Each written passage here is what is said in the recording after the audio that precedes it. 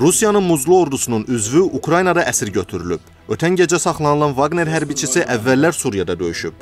В Украине есть нацисты Нет, я говорю, наоборот, отнеслись по-человечески. и будут относиться. Ты сейчас и на эмоциях, ну тебя никто пальцем не ударит, и к тебе будут относиться по-человечески, это я тебе гарантирую. Qeyd edək ki, Britaniyanın The Times nəşrinin yaydığı məlumata görə Rus Wagner qrupu 400-dən çox muzlu döyüşçüsünü Ukraynaya göndərib. Onların məqsədi prezident Zelenski və hökumətdəki bəzi şəxslərə sui-qəsd təşkil etməkdir.